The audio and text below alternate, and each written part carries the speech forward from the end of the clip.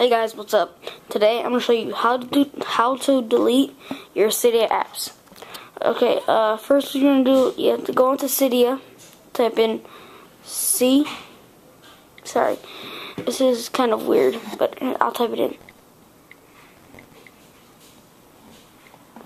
Okay, C Y D E L. Okay, I should see CyDelete right there, or CyDelete. I don't know how to say it exactly, but uh and install it and then say like if you don't want an app say uh I don't know let's see. Say if you don't want like iFile okay iFile right here. Just hold it down and you see the little X above it which you don't usually see.